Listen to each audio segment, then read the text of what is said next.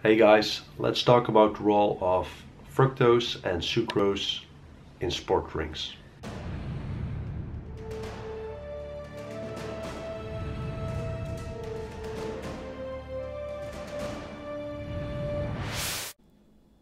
We have recently published a new paper titled Fructose and Sucrose Intake Increase Exogenous Carbohydrate Oxidation During Exercise and I'm going to tell you all about it. So during exercise there are two main fuel sources, body fat and carbohydrates.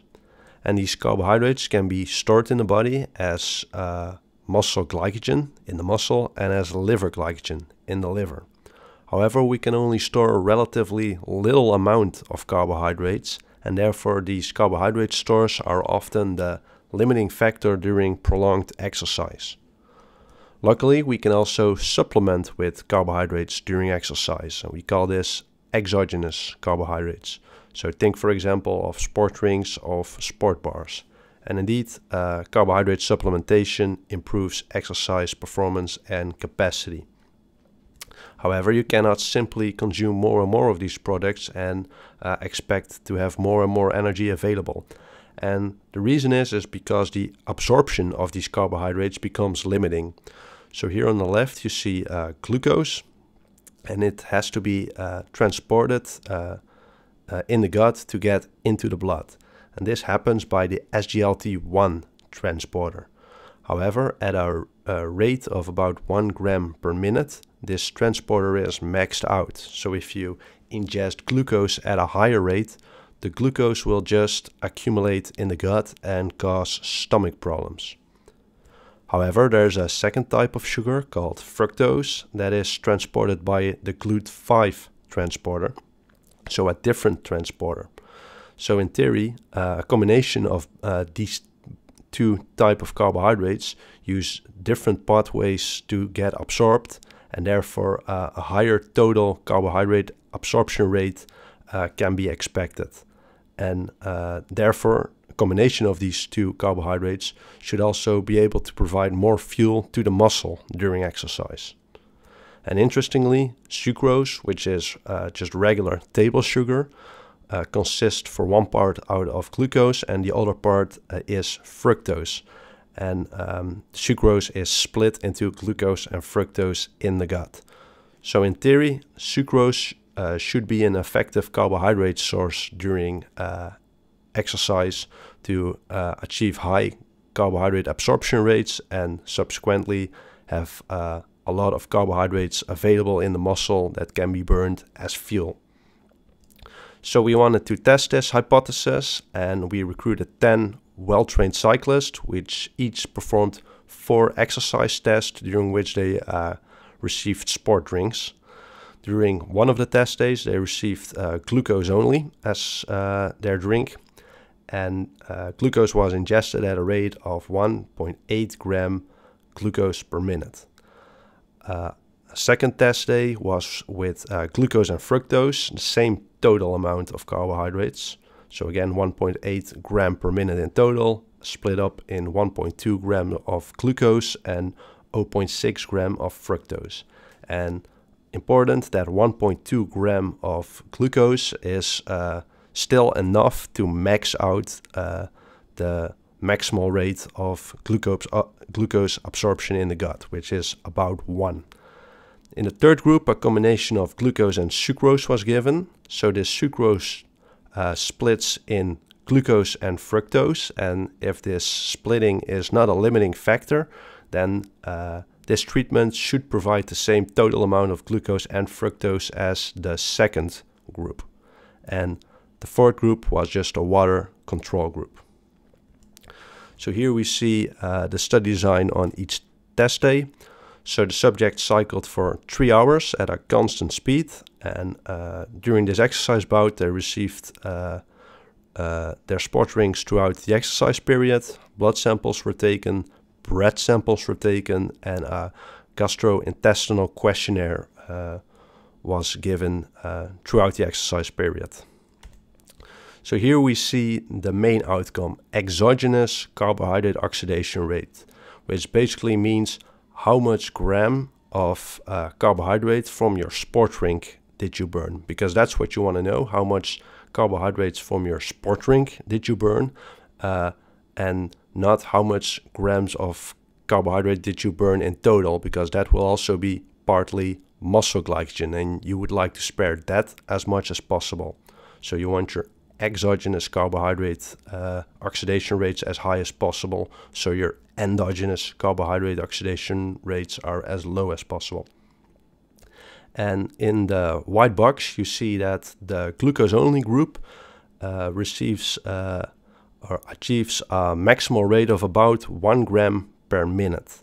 And this is nicely in line uh, with uh, the theory that glucose can only be absorbed at a speed of about one gram per minute in the gut, and that is the limiting factor for uh, the rate at which it can be burned in the muscle. However, when uh, uh, glucose plus fructose or glucose plus sucrose was ingested, the total uh, exogenous carbohydrate oxidation rates appeared to be about 45% higher, with no differences between these two groups. So this uh, seems to support the theory that when you have a combination of glucose and fructose, uh, which can be given as free fructose or as fructose in uh, in the shape of sucrose, um, that more total carbohydrates can be absorbed and then more can be burned in the muscle. But it's a little bit more complex than just that. Because what happens to fructose after it's absorbed in the gut? Well, it moves to the liver, and then the liver can do a few things with it. Uh, the fructose can be released as fructose into the circulation, but this only happens uh, a little bit. When you measure plasma fructose uh, following fructose ingestion, it's actually quite low. The fructose can also be converted to glucose in the liver, and in a fasted state, this happens uh, quite a bit. However, keep in mind that in our study, fructose was co-ingested with large amounts of glucose. And when plasma glucose levels are already very high, your body is not really interested in converting uh, fructose into glucose. So this only happens a little bit. Uh, fructose can also be converted into uh, liver glycogen. And uh, we have done some previous research, and this doesn't really seem to happen a lot uh, during exercise. However, after exercise, fructose is very effective at uh, restoring liver glycogen. Uh, fourth option is that fructose can be used for lipogenesis, which is just a fancy way of saying to synthesize fat. Again, this doesn't happen all that much. And the final option is fructose can be converted into lactate. Now, lactate has a very bad reputation. It's often blamed for the feeling of fatigue and uh, the burning sensation you feel during high intensity exercise, but that's actually not true. Lactate does not cause fatigue or that burning sensation. Lactate is actually a fuel for muscle, and that's exactly what happened in, in our study. So, fructose is absorbed in the gut, transported to the liver, then the liver converts the majority of fructose into lactate the lactate is released into the circulation, moves to the muscle, and then the muscle uh, use lactate for fuel. So lactate is actually a good guy for athletes. So a few conclusions.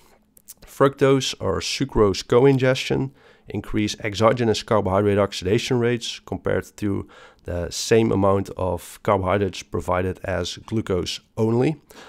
Uh, in addition, fructose or sucrose co-ingestion lowers gastrointestinal complaints compared to the same amount of uh, glucose only. Um, this one is quite logical if you have uh, mixture of carbohydrates that are absorbed at a higher rate in the gut, less carbohydrates accumulate in the gut and cause uh, gastrointestinal complaints. So I hope you liked this video. Uh, I also made a more advanced video where we discuss how are the exogenous carbohydrate rates actually measured in studies like these and uh, how do you actually read the results because the graph I showed you in this uh, video is actually not as straightforward as it might seem. So I hope I see you in that video and please like this video and drop a nice comment. And this is also what you see in uh, in other studies. Um, some some actual training studies have been done where indeed people have trained for weeks and weeks, and there you typically see that the longer rest periods groups uh, build a little bit more muscle.